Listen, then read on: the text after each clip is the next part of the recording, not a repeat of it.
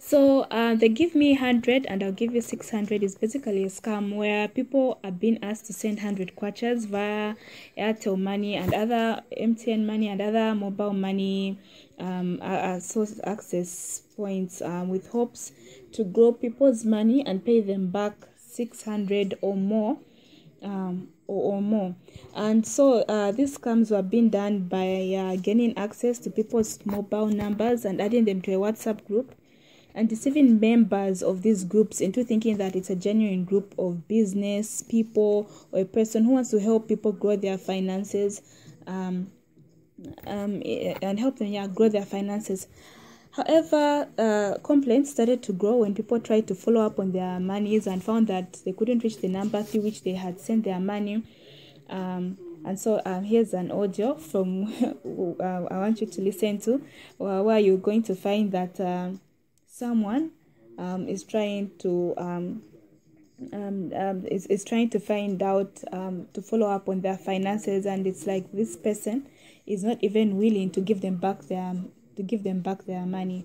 Here it is there's no way you're going to even take me because they're going to ask you how was this thing working? How are you going to explain? You sent money to do it for chilimba is chilimba. You are not sending anyone money at they keep for you so that you can get paid. No you sent me money in order for you to benefit as well. The way i sent money. So why are you now blaming me for it? Ah, I'm one mami one you can take me if you want to take the number.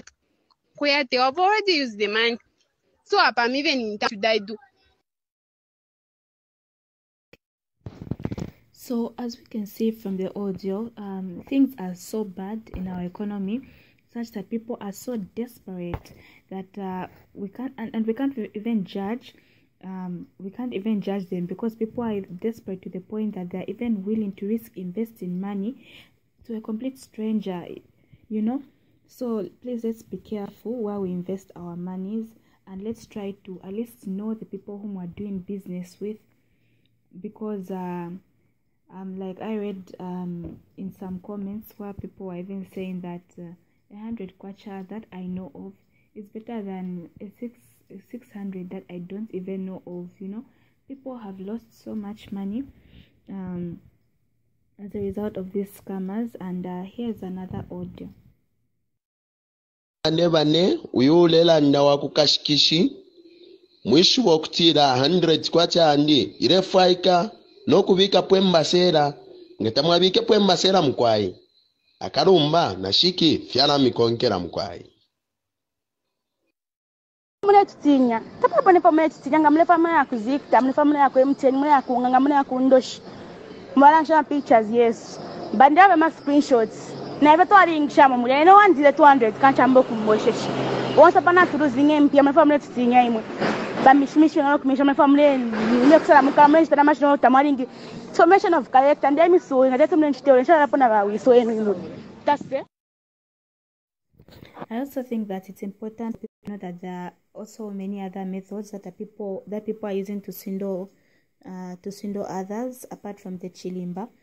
including the pyramid schemes, online jobs where people are being asked to send a certain amount of money in order to confirm whether they've been accepted for a job or a scholarship.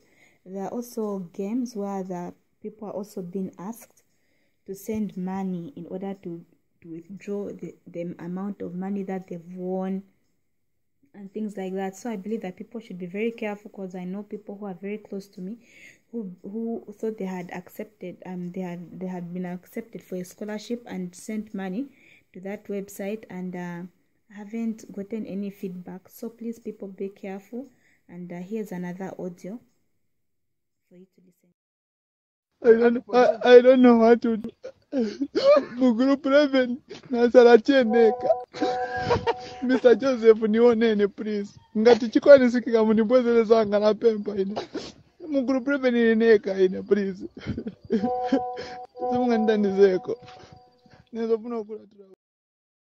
And so this is the bring 100 and you get 600 scam.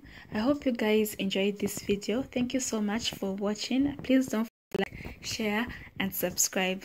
Until next time, bye.